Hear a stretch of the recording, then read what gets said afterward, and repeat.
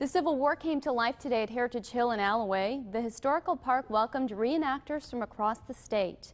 They're here to take part in a reenactment of the Battle of Gettysburg. It's the 150 year anniversary of the battle, which took place in 1863. That battle involved more than 160,000 Americans, including people from right here in northeast Wisconsin. Organizers say visitors are in for a bit of a history lesson. Visitors will get will get a chance to take a look at what it was like to be a part of that battle, like I said, from the civilian and military aspect.